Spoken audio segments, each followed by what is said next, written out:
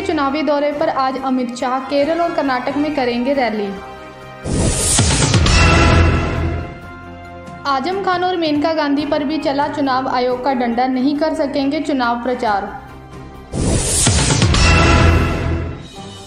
Baspa supremo Mayawati की PC जातिगत मानसिकता से ग्रसित है चुनाव आयोग। मुजफ्फरनगर शेल्टर होम मामले में सीबीआई पर ठीक से जाँच नहीं करने का आरोप सुप्रीम कोर्ट में याचिका। बीजेपी उम्मीदवार को सता रही है हार की चिंता। वोटिंग से पहले बोले, मुरादाबाद सीट बचाए रखना मुश्किल। कांग्रेस आप गठबंधन पर अब भी मंथन जारी। कांग्रेस बोली, हमारा स्टैंड क्लियर, गेंद आपके पाले में। केरल बीजेपी अध्यक्ष ने मुसलमानों पर दिया विवादित बयान, लेफ़्ट ने ईसी से की शिकायत।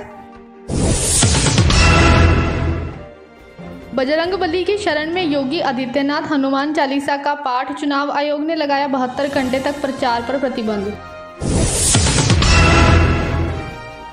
चुनाव आयोग ने लगाया 48 घंटे का प्रतिबंध। नाराज़ मायावती ने इसे लोकतंत्र की हत्या बताया। अदालत को बताया मालवा और नीरव ही नहीं छत्तीस कारोबारी हुए देश से फरार